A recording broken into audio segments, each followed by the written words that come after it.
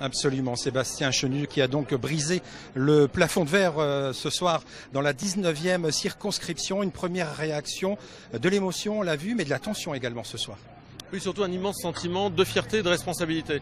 Euh, fierté parce que euh, remercier, euh, représenter demain cette 19e circonscription, l'ensemble de ses habitants, l'ensemble de ses habitants, quel que soit euh, leur vote, me donne ce sentiment de fierté et de responsabilité parce que ici, dans cette circonscription, les électeurs, les habitants ne sont pas soumis et que nous allons donc porter une voix forte à l'Assemblée nationale. Justement, Sébastien Chenu, la France apaisée, on l'a pas vu ce soir, il y a eu des provocations contre vos militants.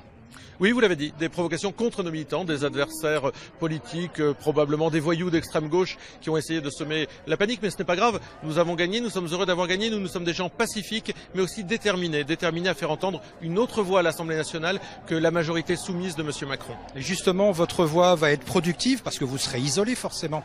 Non, nous ne serons pas Qu'est-ce que vous allez apporter concrètement euh, au Donizy et dans cette 19e circonscription? Nous ne serons pas isolés, nous serons d'ailleurs des huit députés Front National. Et puis la démocratie, euh, 11 millions d'électeurs ont voté pour Marine Le Pen. La démocratie, c'est aussi faire représenter euh, l'ensemble de celles et ceux qui, euh, sur l'échiquier politique, ont voté pour d'autres que M. Macron. Alors nous allons être la voix, nous les huit députés du Front National, la voix de ces 8 millions de Français. Et puis je défendrai ce territoire. Merci euh, Sébastien Chenu. Donc vous êtes élu ce soir dans la 19e circonscription à vous, Virna.